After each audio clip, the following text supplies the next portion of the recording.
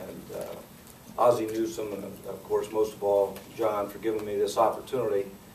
Uh, It's an incredible opportunity to be a defensive coordinator for anybody in this league, or at any level. But it's especially humbling to be one for the Baltimore Ravens.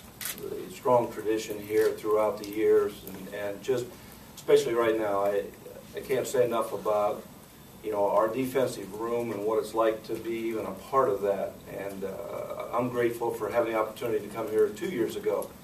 You know, along with that, I'd like to thank Greg Mattison and Chuck Pagano both for giving me an opportunity as a linebacker coach on defense. And Greg was very instrumental in me coming here uh, to begin with. Of course, having known John since 1983, uh, Uh, you know, I, we've stayed in touch over the years, and, and it was just a tremendous opportunity for me.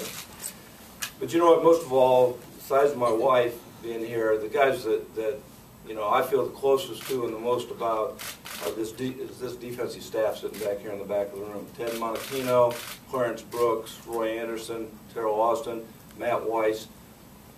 One of the things that's gone on here, and